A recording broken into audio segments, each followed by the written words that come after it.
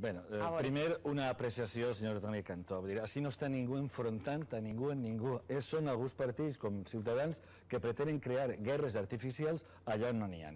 El govern valencià l'únic que ha fet ha sigut limitar-se a complir la llei. I si algú creu que el govern valencià no complís la llei, el primer que té que fer és anar als jutjats. Ja està, tan simple com això.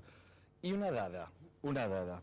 En els quatre anys, de, últims quatre anys que ha governat el Partit Popular, s'han perdut 600 línies, 600 línies, moltes d'elles, moltes d'elles d'escola concertada. No he vist a Ciutadans obrir la boca, ni al Partit Popular tampoc.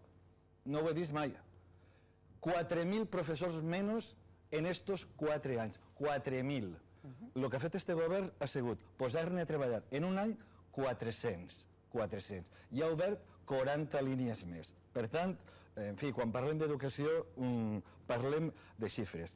En educació i en sanitat, els valencians tenim un acudit que ve calcat. En diners, torrons.